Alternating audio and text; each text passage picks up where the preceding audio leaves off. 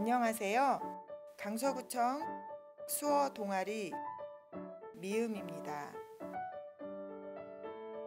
오늘 배워볼 수어 노래는 버스커 버스커의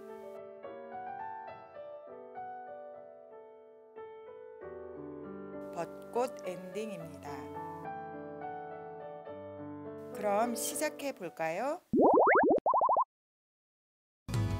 봄바람이 날리며 흩날리는 벚꽃잎이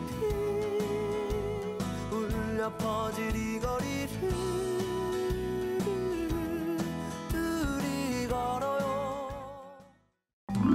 봄바람이 날리며 흩날리는 벚꽃잎이 봄바람이 날리며 흩